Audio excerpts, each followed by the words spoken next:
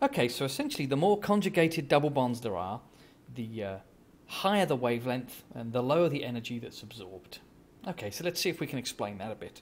So ethene just has one double bond, and so the radiation it absorbs, uh, the so-called maximum wavelength of the radiation it absorbs, is about, let's say, 300 nanometers. So that's in the UV.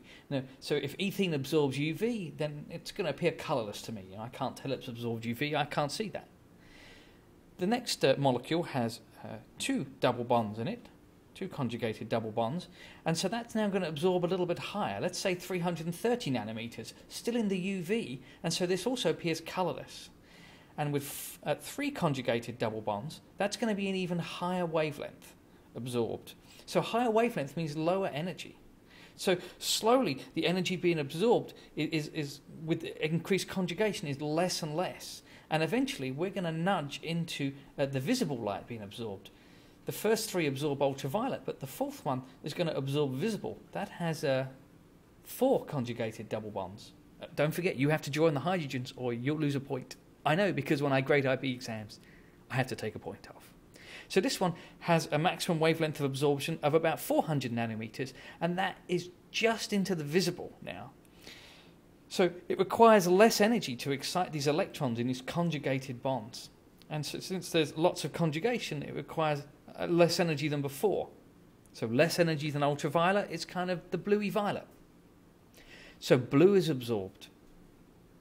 And so the complementary colour remains. So if you were to look at that horrible tetraene organic chemical, it would appear to be kind of reddy orange. Notice how you spell colour. All right then, let's move on to the next bit.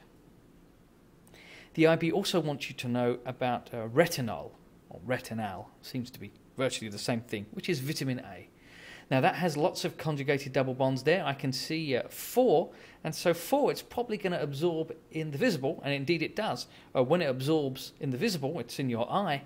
Uh, when it absorbs in the visible, uh, it allows you to see. Very clever thing.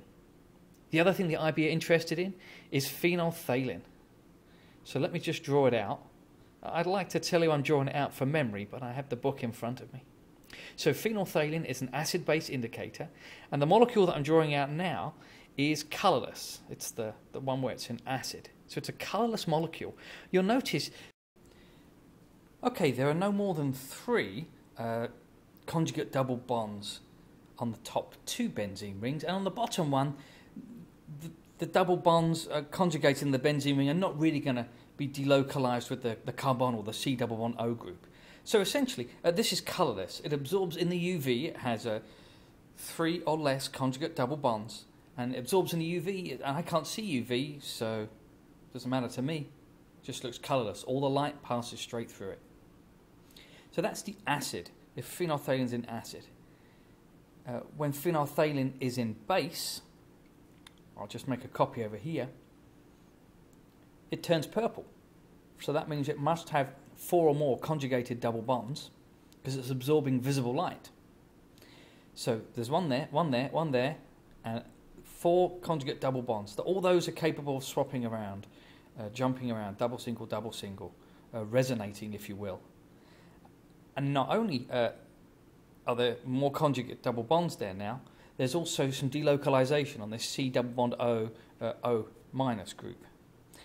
So what does that mean? Well, it means it's absorbing visible light uh, and it, it looks purple.